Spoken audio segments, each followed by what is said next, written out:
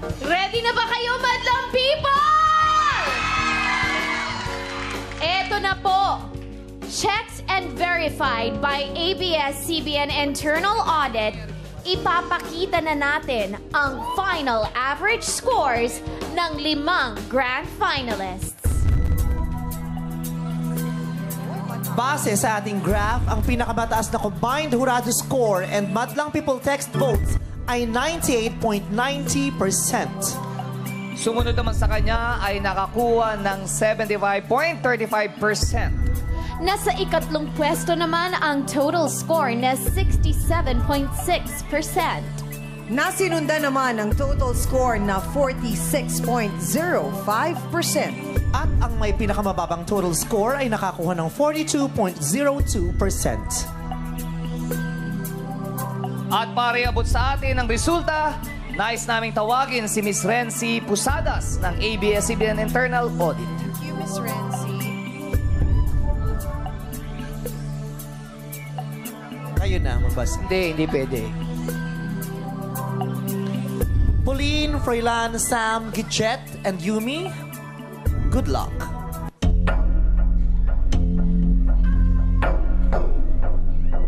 Ang grand finalist na nakakuha ng pinakamataas na average score na 98.90% at babalik sa Sabado bilang bahagi ng ating top 5 at magpa-perform sa Resorts World Manila. Hindi kita narinig masyado saan? Resorts World Manila.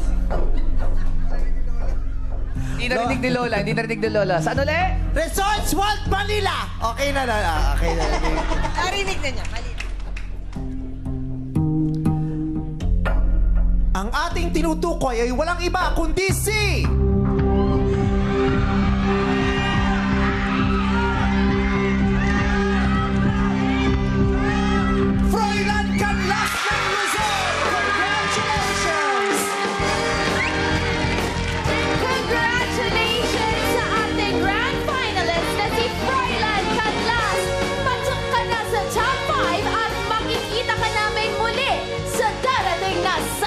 Congratulations, Froilan! At para naman kina Pauline Agupitan, Sam Mangubat, Mary Gidjet de la Liana at Yumi Kapili, huwag kayong mawawala ng pag-asa dahil babalik pa kayo bukas o sa Webes para sumubok muli na mapabilang sa ating top 5. Balik lang ng balik. Sa darating na biyernes po namin, balik. ipapakita sa inyo kung sino-sino nga ba ang nakakuha ng ikalawa hanggang ikalimang pwesto kahapon at ngayong araw. At baka bukas ay announce po natin na ang Grand Finals ay gagawin sa balik-balik Sampaloc Metro Manila. Froilan! Froilan, congratulations! Thank you po. Thank you. Anong gusto mong sabihin sa lahat ng madlang people na talagang bumoto at sumuporta sa'yo? Maraming salamat po sa lahat ng bumoto sa akin mula sa Bicol Region hanggang sa buong Pilipinas po na lahat ng naniniwala sa akin. Maraming salamat. My forever, maraming salamat po. Nakakatuwa, ano? Yung naranasan ni Froilan yung na nakaraan na resback, parang narana- mararanasan ngayon ng matagal na nagpahinga. Di ba? Sila naman ang re-resback ulit bukas. Pero naniniwala kami sa inyong lahat dahil lahat kayo ay kapwa mahuhusay. Kaya good luck sa mga darating na araw. Madlang people, dalawang grand finalists na po ang pasok sa ating top 5. Yan ay sina Noven Belleza ng Negros Occidental at Froilan Canlas ng Camarines Sur. Abangan bukas ang panibagong set ng mga maglalaban-labang grand finalists para masiguro ang kanilang pwesto sa darating na Sabado. Muli, congratulations kay Froilan Canlas ng Camarines Sur. Camarines Sur. At syempre, maraming maraming salamat sa ating mga madlang people, solid showtimers, PMC subscribers, at magkita-kita bukas dito lang sa Your show! Your Time! It's Showtime! Mga people, ang ikalawang grand finalist na pasok sa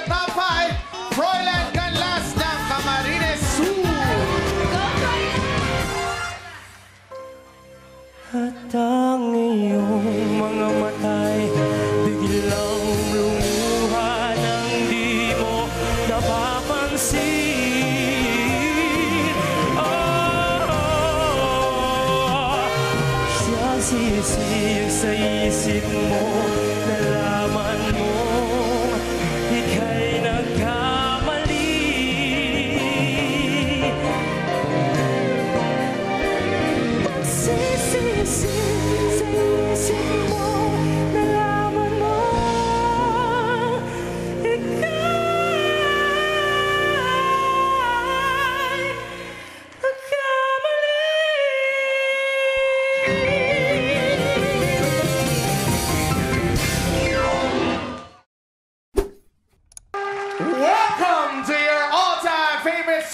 for outstanding amateur talents.